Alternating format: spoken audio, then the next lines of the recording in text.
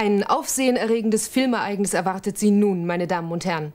Im Rahmen der Reihe Money and Crime nun Brian De Palmas Bestsellerverfilmung Fegefeuer der Eitelkeiten. Vom tiefen Fall eines erfolgreichen Börsenhändlers, von politischer Korruption, erbitterten Machtkämpfen, öffentlichen Skandalen und verbotenen Leidenschaften handelt dieses packende Gesellschaftsdrama. Viel Spaß bei diesem Starkino der Sonderklasse mit Tom Hanks, Melanie Griffith und Bruce Willis.